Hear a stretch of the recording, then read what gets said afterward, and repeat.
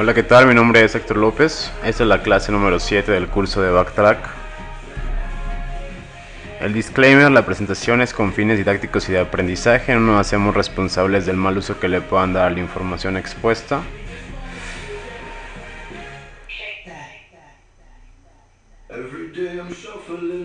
Y bueno, para esta clase tenemos, vamos a hablar un poquito de lo que es el Simotoa, que es un eh, framework para lo que es inyección de shellcode en manera de modo de ejecución. Y es bastante bueno. Y bueno, vamos a hablar de malware en general, cómo se clasifica y cómo está compuesto. De los troyanos, que básicamente son programas que hacen pasar por programas legítimos de nuestro sistema con el fin de infectarlo y, pues provocarnos alguna clase de daños. Vamos a hablar de lo que viene siendo una shell bind y reverse, que son básicamente las dos formas en las que se puede establecer conexión a un servidor. La primera es la más básica, consiste en abrir un puerto en el lado de la víctima, pero es muy ruidoso ya que si tiene por ejemplo firewalls o algo así no vamos a poder salir hacia el exterior. Y la de reverse, que consiste en nosotros abrir un puerto local y hacer que la máquina del atacante se conecte hacia nosotros.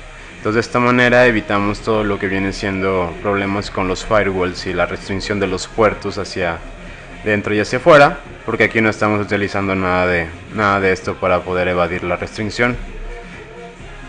Vamos a hablar de lo que son los procesos y la memoria dentro de las cuestiones de los backdoors, ya que eh, generalmente cuando está corriendo un backdoor lo que hace, por ejemplo, por ejemplo el Simotoa es que le especificamos un process ID y dentro de ese process ID va a inyectar el shellcode que le queremos poner.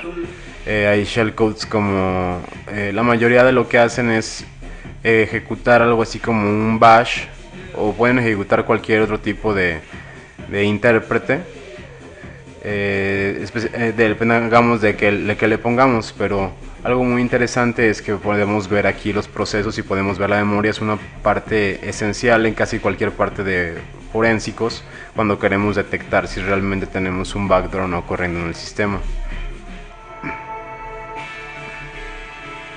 Y bueno, por último vamos a hacer el demo del rootkit, el Simotoa sobre nuestra distribución preferida Backtrack 5.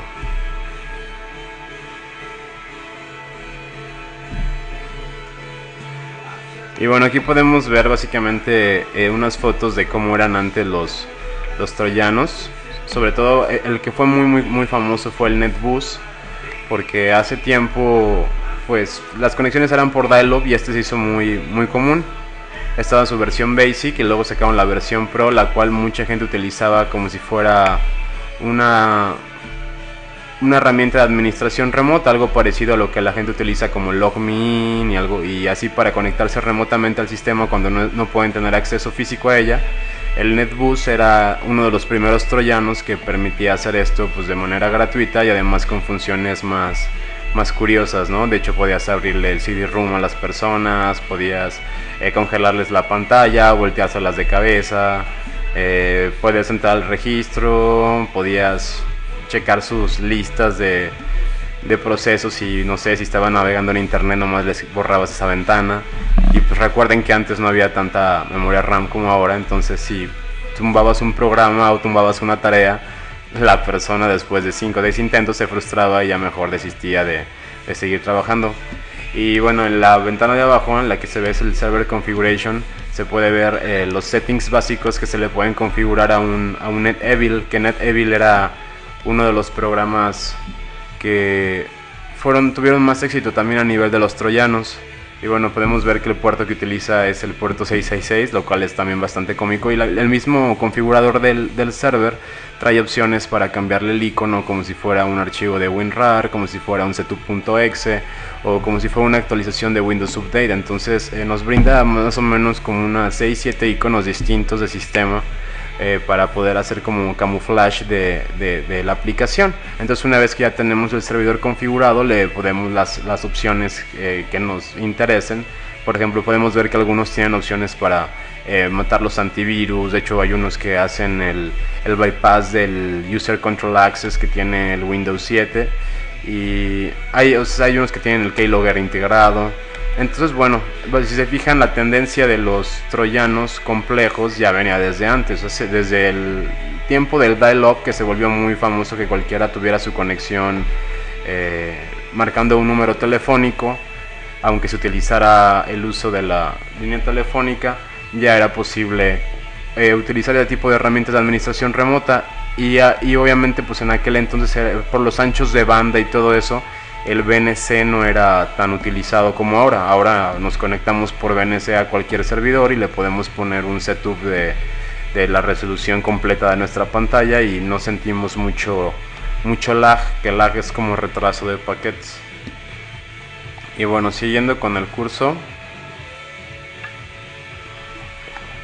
también podemos ver que tenemos unos, lo que viene siendo eh, keyloggers por hardware que estos no son muy, muy utilizados porque son más costosos y la gente generalmente no quiere invertir. Entonces estos eh, hardwares lo que hacen es que se colocan antes del... En este caso ahí podemos ver uno de modo PC2, entonces se conecta como si entrara al módulo, como si fuera simplemente un modulito, como una extensión del, del cable PS2 que tienen los teclados normales hay otros también que son por USB y bueno, hay, hay mucha variedad ahorita ya como de hardware malicioso que sirve precisamente para eso, para poder tener como acceso a, a, lugares que pues más bien de una manera muy muy básica y sin hacer mucho ruido a nivel software a veces podemos simplemente conectar y si están los plugs descubiertos que en muchos sistemas no lo deshabilitan como política de seguridad en muchas empresas lo que hacen es precisamente esto, hacer una política de, no, de que no se permita el uso de dispositivos USB eh, externos a la organización, a menos que estén verificados, con el fin de que pues, la gente a veces no se robe código, porque estuvo muy de moda en Estados Unidos que la, los robos de propiedad intelectual se hacía en los mismos iPods de los usuarios, cuando ahí agarraban y se ponían 5 o 6 gigas de todo el código fuente a la empresa y lo sacaban como si fuera una canción, ¿no? Entonces, todo ese tipo de cosas ya ha estado desde hace mucho tiempo y el hardware ha sido una manera de, en la cual se fuga la información de una manera muy rápida.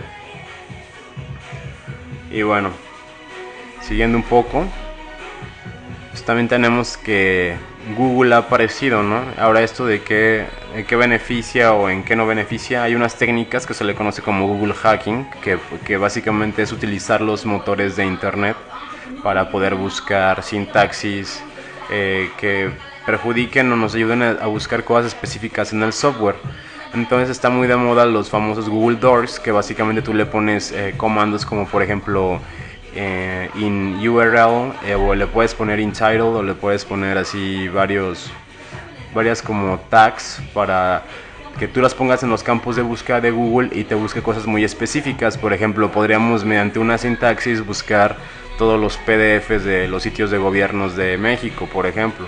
O podríamos en otra sintaxis buscar todos los archivos de Excel de cierto estado de la República. Eh, entonces eso es muy fácil de hacer porque pues Google básicamente indexa todo y a menos de que tú crees un archivo que se llama robots.txt en lo cual en el cual tú le estás diciendo a los servidores de Google y a todos los spiders de cualquier servidor como Altavista, Yahoo, etcétera, que no busquen en tus carpetas privadas, porque si no lo que va a pasar es que todo tu código y todo lo que está ahí se va a indexar en internet. Entonces cuando alguien busque por porciones específicas dentro de tus dominios, y de tus sitios va a poder encontrar cosas. Entonces es muy común que la gente tenga Content Manager Systems o que tenga eh, softwares que se repiten de sitio en sitio. Entonces cuando se encuentra un bug, pues tú utilizas un Google Dork para buscarlo con Google y pues, atacas y encuentras todo y puedes penetrar muchas cosas.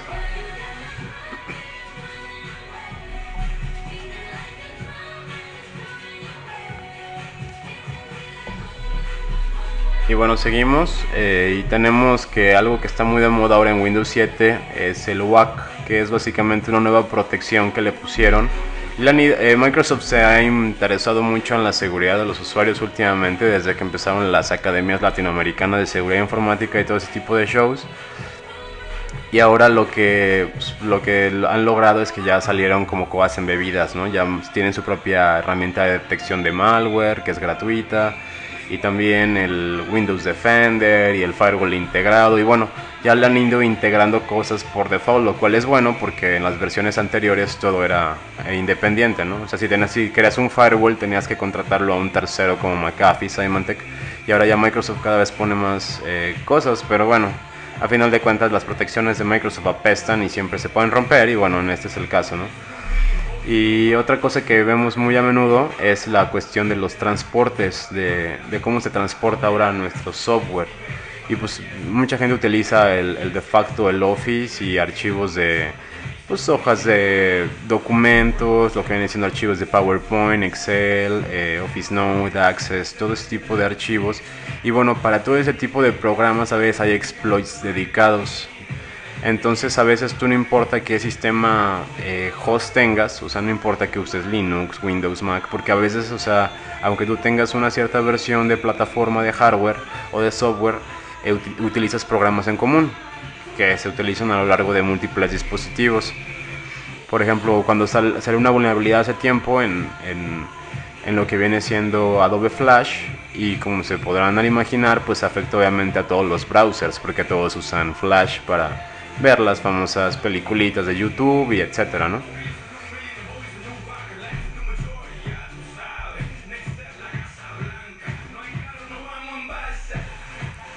Entonces, bueno, eso es lo que quería mencionar, que hay exploits para todo lo que se puede, para casi todo cualquier tipo de software. Y ahorita les voy a enseñar que pues, es muy, muy fácil encontrar cualquier software como este.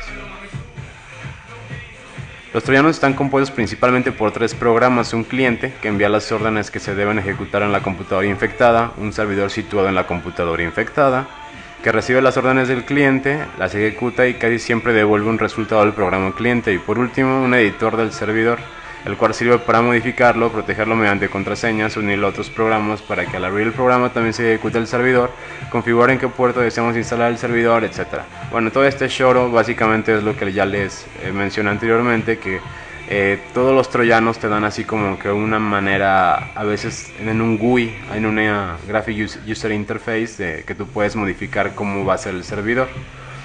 Algunos no lo hacen de esta manera, y de hecho los más efectivos son obviamente los que nadie conoce, ¿no? Es como cuando dicen, oye, ¿cuál malware va a ser más efectivo? Pues obviamente el que está más ofuscado o el que está más hecho por un cierto usuario o modificado. Porque los que se utilizan a lo largo de internet, pues obviamente ya hay firmas para detectar estos. Entonces lo que se busca hacer es precisamente crear eh, malwares indetectables. Ahora, ¿cómo hacemos esto de los malwares indetectables? Pues hay muchas maneras. Todo esto se basa mucho al encoding. Por ejemplo, el encoding es la manera en la que se guardan eh, los caracteres, la memoria o las instrucciones en un sistema. Llámese lenguaje de programación o segmentos de memoria o lo que ustedes quieran. Entonces, eh, por ejemplo, un, rootkit o un troyano más elaborado para que funcionara como una puerta trasera para que el atacante pueda entrar sin que las personas se den cuenta, eh, sería, por ejemplo, a lo mejor un malware que nosotros hagamos que esté utilizando un encoding o un algoritmo, eh, no sé, del que ustedes quieran y que esté utilizándolo en un puerto no muy común, que no utilice ningún otro troyano. ¿Para qué? Porque por ejemplo, si algún, si en este caso nuestro administrador de sistemas o la persona que estamos atacando llegara a utilizar sistemas de defensa como el que mencionamos en la clase anterior, que es el RK Hunter, el RK Hunter lo que vimos que hace es que busca por puertos específicos y por comportamientos específicos del malware que ya tiene detectado en sus firmas y en sus bases de datos.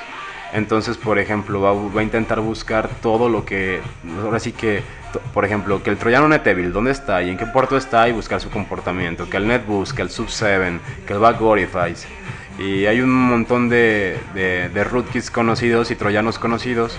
Entonces, lo que buscaríamos nosotros hacer es simplemente migrarnos a un proceso que no se van a dar cuenta. ¿A qué me refiero con esto? Pues supongamos que el Postgres o que ese usuario tiene un servidor web que continuamente está corriendo a lo mejor un Tomcat, un Apache, un MySQL, ciertas cosas.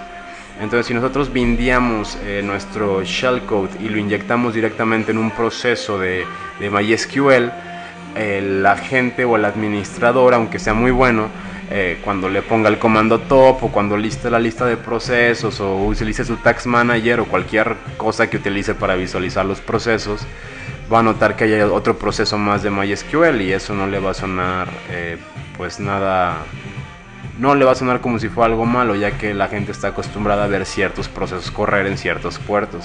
Entonces lo que buscaríamos hacer con un eh, shellcode, más bien con un malware indetectable, es eso, es eh, inyectarlo en ciertos procesos que pues, la gente esté utilizando comúnmente y que no se dé cuenta.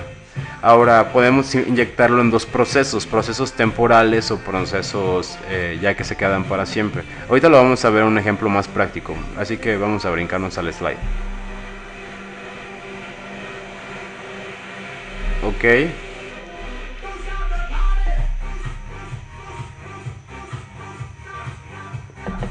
Vamos a verificar que esté grabando esto. Sí, parece que sí. Ok. Ahora, lo que mencionábamos de bind or reverse, eso es algo interesante y más bien no es interesante, es como un concepto básico que si no logras entender esto, de, por eso es que mucha gente no logra entender el funcionamiento de Metasploit y no entienden, no logra entender cómo es que se mandan las, las shells y cómo es que te llega y y a veces todo parece mágico, hasta para algunos pseudo hackers que logran conseguir shells no logran entender estos conceptos. Entonces es importante que, por ejemplo, hagamos notar que hay dos maneras eh, principales. Hay otras, que no, no, todo es bind y reverse, algunas pues, se podrían catalogar como reversa con proxy o bind con proxy o utilizando una red peer-to-peer -peer, o utilizando a lo mejor eh, túneles de, Secure Shell. Entonces hay varias maneras de, tunelear todo esto y de irlo haciendo cada vez más complejo.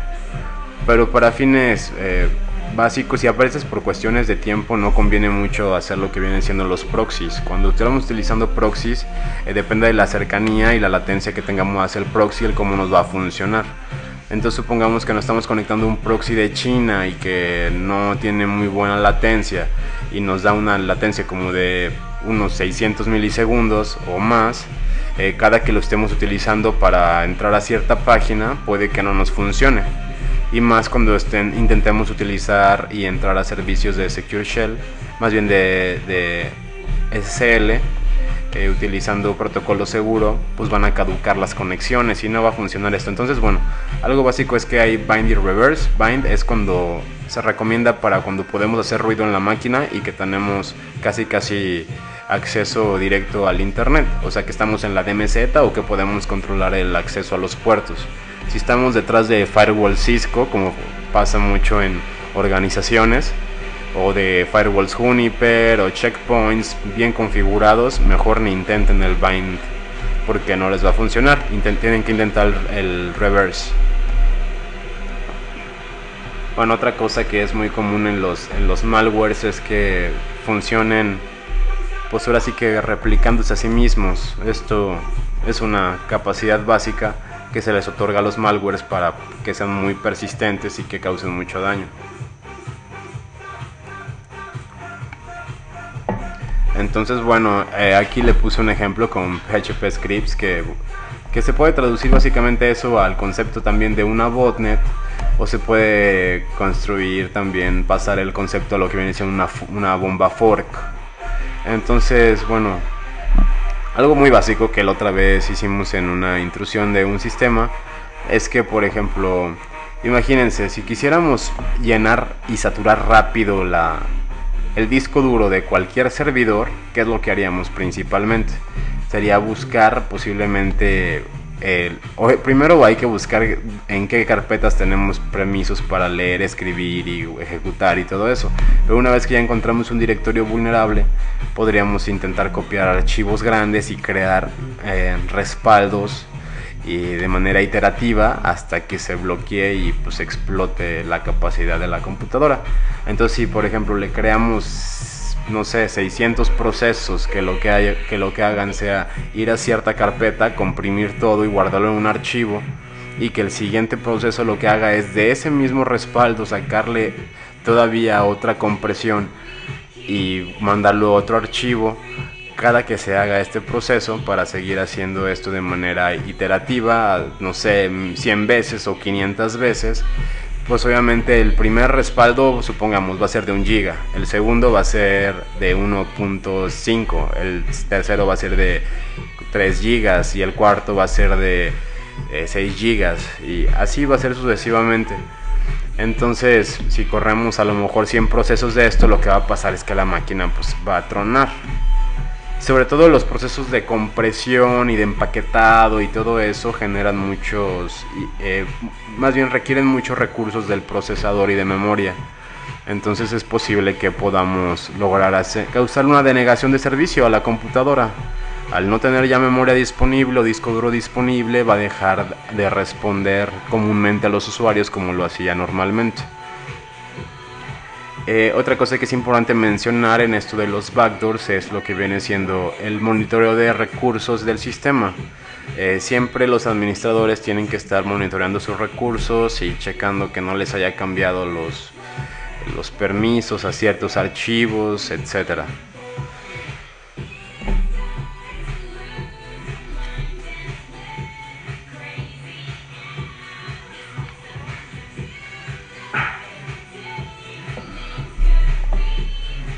Bueno, y ahora que, que nos vamos un poquito a la parte de, de hablar de, cómo sería el forénsico de, de ese tipo de cosas, pues obviamente mucha gente dice, es que todo está en la memoria RAM, ¿no?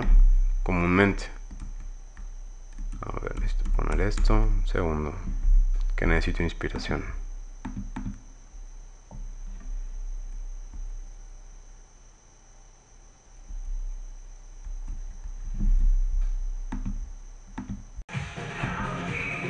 Y bueno, listo, ya regresamos con nuestro último slide, en el cual estaba mencionando la parte de cómputo forense. Algo que pasa mucho es que se pierde la memoria RAM. Entonces la memoria RAM están corriendo todos los procesos que actualmente el usuario está ejecutando.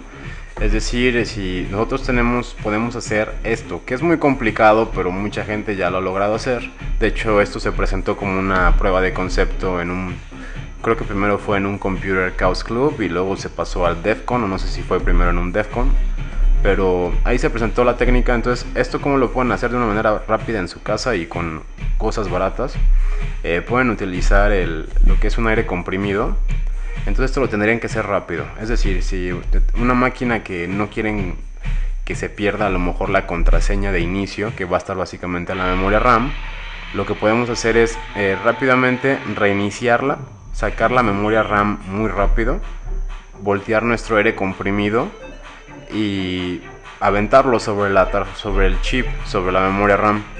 Pero mucho. Entonces lo que pasa cuando tú volteas el aire comprimido es que sale como la sustancia que es... Eh, que lo que va a hacer es enfriarla a muy baja, muy baja temperatura. Creo que es abajo de los 0 grados centígrados. Entonces cuando la memoria se mantiene fría, tarda más tiempo en que se borre la información de esta. Entonces es algo pues es un truco interesante, está divertido. Digo, yo no lo he intentado para la cuestión de utilizar un file vault o algo así. Una vez lo intenté, pero no obtuve mucho resultado porque generalmente a veces el Windows el Windows no hace bien el trabajo de, borrar todo de la RAM. Entonces cuando tú en una máquina eh, común a veces reinicias con un sistema de recovery y pides que te haga un dump de toda la memoria RAM, generalmente te la va a sacar toda. O sea, con que simplemente la reinicies y le pongas el dump de la memoria RAM, no vas a ocupar a congelar todo esto de la memoria RAM. Pero posiblemente en laptops que, tengan sistemas de protección más avanzados como TrueCrypt o el File Vault en la Mac o, el BitLocker creo que se llamaba en los ambientes Windows. Entonces sí podría ser conveniente ese tipo de, de ataque del call boot, que es muy interesante. Y bueno, por la parte de presentación es todo, vamos rápido con la demostración del Simotoa.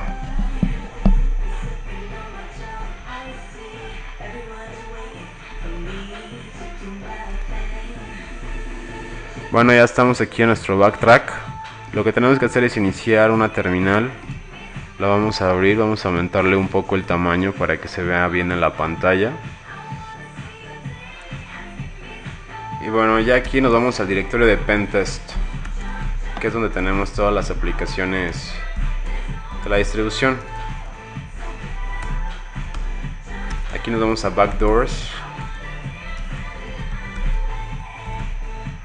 Y tenemos algunas opciones. Vamos a abrir la opción de Simotoa. Y bueno, esto es lo que nos muestra el directorio de Simotoa. Son algunos archivos, los vamos a listar de una manera más amplia. Y podemos ver que consta de un ejecutable. El Simotoa tiene ahí su header en su archivo de su versión ya compilada, tiene su makefile, sus su cabecera de los payloads, su cabecera de la personalización y un script que está hecho en Perl. Son básicamente los archivos que contiene el Simotoa.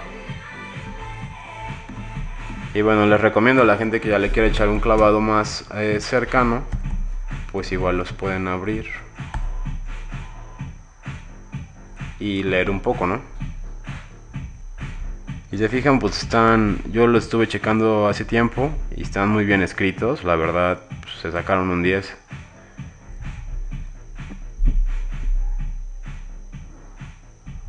Y bueno, una vez que tenemos esto, vamos a proceder al uso de la herramienta.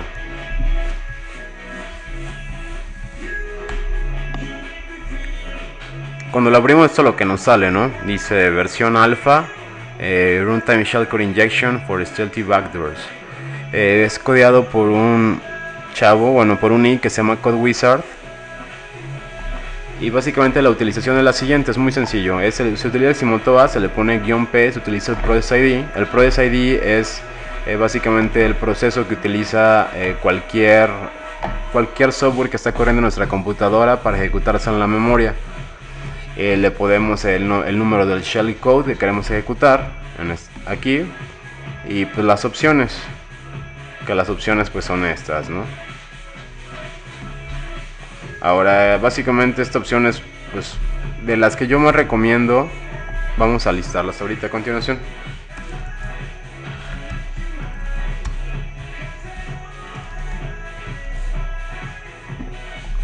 Eh, contiene esas opciones, eh, van del 0 al 10.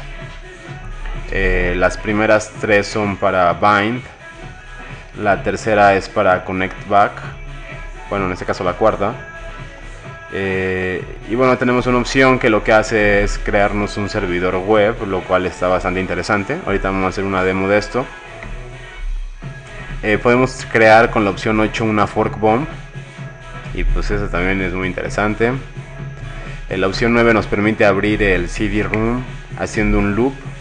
Y hay que tener en cuenta que este, el Simotoa lo que hace es hacer el shellcode injection, pero en sistemas Unix based, lo cual es todavía más interesante porque generalmente todos los que vamos a encontrar y todos los backdoors van a ser pues que el NetBoost, que el Backorify, todos los que tienen como interfaz gráfica y que son para pues, Windowseros.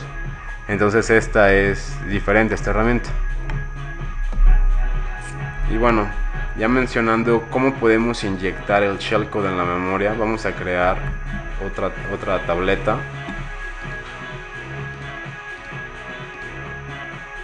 Y con el comando top podemos ver los procesos que están corriendo actualmente. En este caso ahorita vamos a abrir uno nuevo para poder inyectar en ese proceso eh, el shellcode y que sea como un más demostrativo. Vamos a abrir algo básico. Cualquier persona tiene en su máquina corriendo el Firefox o el Internet Explorer o el Word o el Excel. Algo así. Entonces a este usuario primero le vamos a infectar su, su Firefox. Entonces va a correr el Firefox. Aquí vemos que ya está corriendo.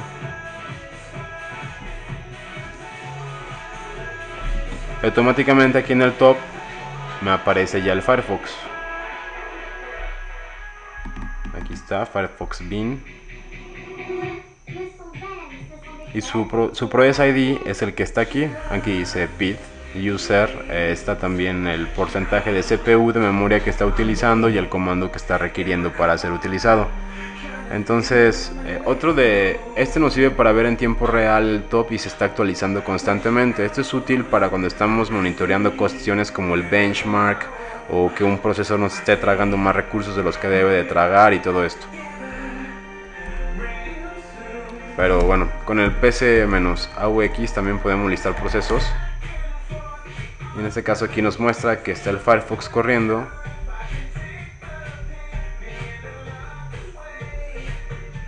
y el process ID que está utilizando es este pues vamos a copiar el process ID y vamos a proceder a inyectar con el Simotoa un backdoor ahí.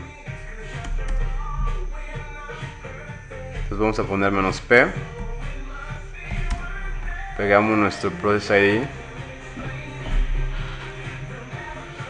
ponemos menos S que es la opción que vamos a utilizar de shellcode y en este caso vamos a usar la, primera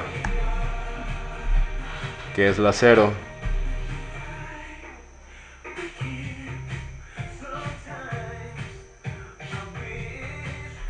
ya lo único que tenemos que utilizar aparte de eso es el puerto. Y vamos a ponerle el puerto aquí sería aquí hay dos maneras. Podemos cuando pensamos en un puerto podemos pensar en los comunes para que sea transparente y que sea fácil de que de que pues no pase por un detector a lo mejor de malware. Ah, podría ser el 80 el 443 el 21 de FTP o hacerlo pasar por un telnet o por un servidor de proxy un squid o algo así pero también podemos ponerlo en un puerto simplemente que no esté utilizado. En este caso voy a tratar de, utilizar el 777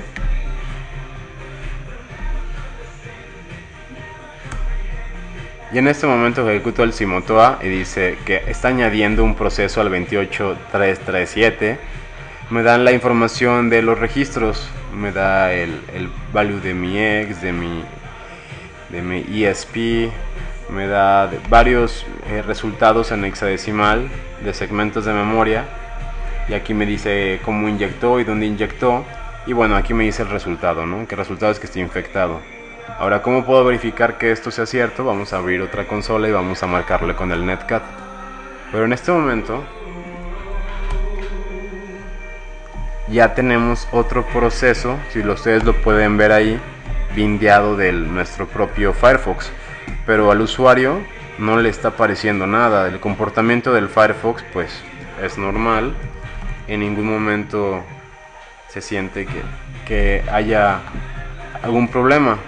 Y eso es algo importante pues para la ejecución del, del backdoor. Que lo hicimos en, de manera eh, muy sencilla y pues aquí ya lo tenemos infectado.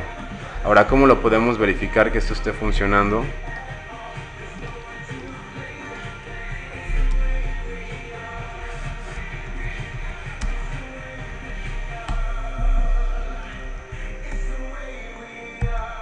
aquí en este momento ya tengo yo una bueno voy a especificar lo que hice le di un netcat a mi dirección local en el puerto 777 como antes especificamos en el Simotoa que ya fue el que lo infectó y aquí le especificamos nosotros el puerto. Si aquí yo lo hubiera, lo hubiera puesto 555 hubiera sido ese puerto. Si lo hubiera puesto 80 hubiera sido el puerto 80 obviamente el puerto 80 no, no sería precisamente tráfico de HTTP entonces, si tenemos un administrador que esté utilizando un analizador de protocolos como el, el Wireshark o algo así, podría detectar que es una comunicación en plain text con el, con el Netcat.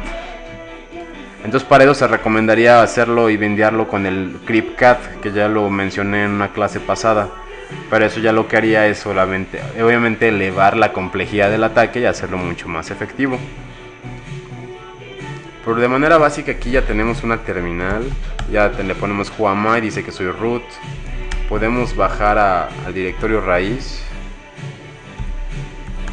Podemos listar.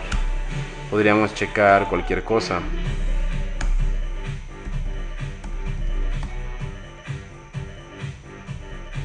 De hecho podríamos utilizar comandos desde la misma desde la otra máquina. Supongamos que aquí yo estoy conectado a otra computadora, podría yo utilizarla para mandar escaneos o para desde ahí pivotear y lanzar un exploit o algo parecido.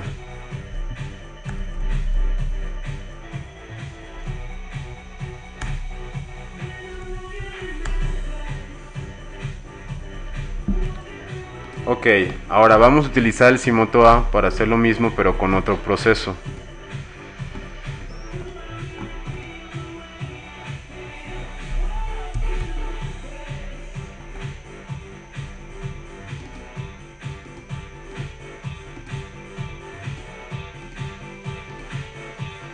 Ahora, el utilizar eh, el Firefox en este caso eh, es conveniente pero podríamos utilizar eh, herramientas a lo mejor del propio sistema, como lo mencioné anteriormente, algo de MySQL o algo de eh, más interno. De hecho, podríamos a lo mejor, voy a poner un ejemplo que puede parecer muy tonto, pero es algo cómico.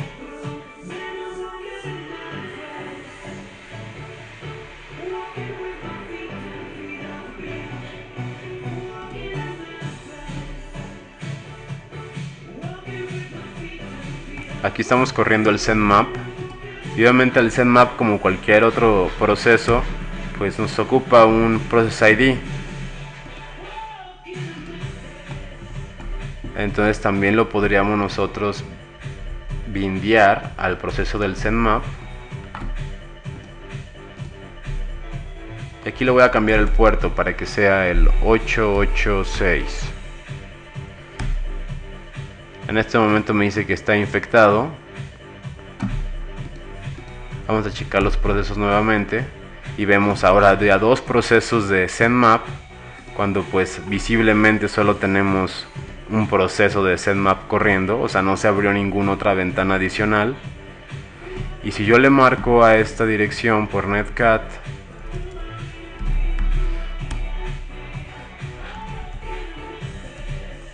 podemos ver que recibimos una shell y que tenemos permisos de root y que obviamente podemos hacer todo lo que se nos dé la gana.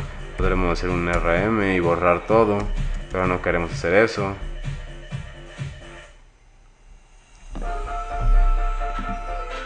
Entonces es algo interesante que hasta las propias herramientas que tenemos nosotros de hackeo podrían ser un proceso que está eh, convertido para afectarnos. Eso se, vio y fue algo, algo común que una vez me tocó ver en un snort y empezó a pasar en varios snort que el mismo snort lo infectaban entonces el detector de intrusos estaba infectado y cada que la obviamente el administrador siempre se iba a preocupar porque su snort estuviera corriendo entonces si por ejemplo si por alguna cosa eh, el, al atacante se le, se le fregaba su malware o algo, de todas maneras el, el, administrador se iba a estar encargando de que siempre estuviera online su máquina y que estuvieran los procesos de snort corriendo y posiblemente algún proceso de snort ahí va a tener la, la shell inyectada y es al que se va a estar conectando la, el atacante, ¿no? También fue muy común que eh, creo que algunos sistemas de, de Computer Associates tenían un problema similar. Pero bueno, con esto ya se demuestra que es muy fácil inyectar shellcode en un proceso, el que sea. Vamos a hacer otro demo, ahora con... Déjenme pensar. Vamos a listar otra vez las opciones. Y vamos a correr rápido la opción de... La opción 6 y lo que va a hacer es crearnos un servidor HTTP.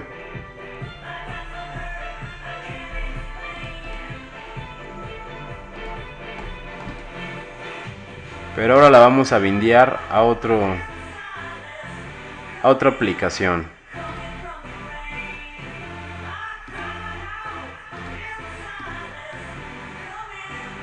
Aquí una herramienta que se llama KeepNote.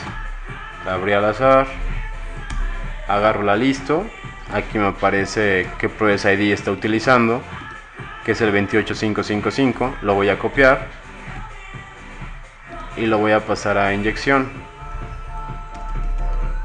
Agarro, pego el número del proceso. Lo voy a aceptar y me dice que ya, que ya estoy infectado. Entonces ahora voy a checarme localmente que sí que se abrió un puerto nuevo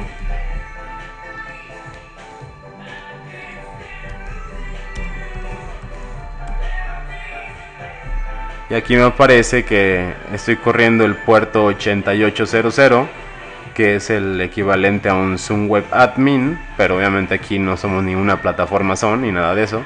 Simplemente estamos usurpando el puerto para ahí cargar nuestro servidor web. Vamos a accesar a él para que se vea que funciona. Y aquí está, nos aparece una carita feliz de que el puerto pues, está funcionando y ya tenemos un servidor web ahí corriendo en un proceso inyectado y más bien camuflajeado como si fuera un keep note. Si nosotros listamos, aquí nos aparecen unos, unos procesos de keep note, pero pues no, no aparece nada relevante. Nada, nada, de lo que el usuario pueda sospechar de una manera eh, sencilla. Y como lo menciono, no se abre ninguna ventana adicional y la aplicación no truena. Ahora, esto hice algunas, algunas pruebas con muchas aplicaciones y llegué a recibir que algunas sí tronaban. En la inyección del, del, del shellcode en runtime la aplicación se crasheaba. Entonces, bueno, todavía eso es más chafa, ¿no? Pero porque a lo mejor ahí podríamos eh, tratar de ubicar en el código algo, que nos ayude a elevar privilegios y y rutear el sistema, pero ya no me puse a checarle con más detalle. Pero bueno, es muy fácil inyectar con Simotoa nuestros factors camouflage. Y vamos a ver qué otras opciones tenemos que podemos utilizar. Está lo del connect back. Están estas que pues no las voy a utilizar, pero ahí se las dejo para que las chequen. Que es la de abrir el CD-ROOM o la de hacer ruido en la computadora Ahora, como viendo la librería, sería muy fácil que nosotros, por ejemplo, y se nos ocurre algo, pudiéramos hacer la opción 11, ¿no? Y que la opción 11 fuera a lo mejor un, un bind del shell, pero a lo mejor que en vez de utilizarlo con netcat, que forzara al usuario a utilizar cryptcat y que fuera por el puerto 443 o que fuera por un puerto utilizando SSL. A lo mejor eso podría ser interesante. Y bueno, Espero que les haya quedado claro el uso de la herramienta. Y espero que no los haya aburrido. Y les quiero dar las gracias porque pues, he tenido muchas descargas de todos ustedes.